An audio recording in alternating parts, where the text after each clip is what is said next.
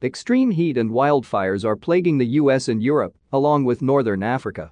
Thursday marks the peak of the latest heat wave in the mid-Atlantic states, with Washington, D.C. likely to reach or eclipse 100 degrees Fahrenheit Thursday, with a heat index closer to 105 or 110 degrees Fahrenheit.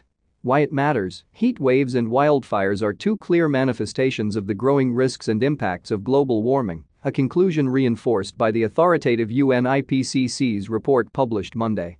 Details The Pacific Northwest will see its second outbreak of scorching heat and dry weather this summer.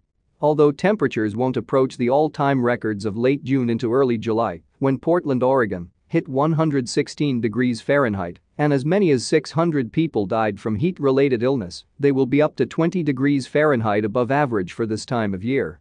Nearly 200 million Americans are under heat advisories or excessive heat warnings as dual heat domes affect the Pacific Northwest, central states and east coast.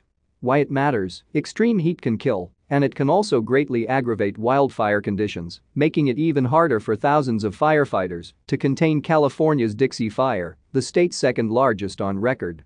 A weather station in Sicily may have set an all-time high temperature record for all of Europe on Wednesday when the temperature climbed to a scorching 48.8 degrees centigrade, 119.8 degrees Fahrenheit, amid a regional heat wave that has shown few signs of relenting. The big picture, the intense heat wave continues to roast the Mediterranean and northern Africa. The hot and dry weather has played a large role in creating the conditions conducive for explosive and devastating wildfires in Turkey and Greece. A partially burned truck on Wednesday near a downed electrical power pole after the Dixie Fire moved through the area in Greenville, California.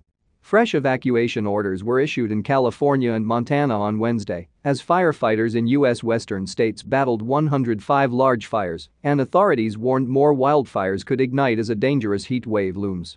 Driving the news, the National Interagency Fire Center said Wednesday fire managers could see an initial attack and large fire activity could increase in the northern California, northwest, portions of the Great Basin and northern Rockies areas due to hot, dry and windy conditions and the potential for lightning.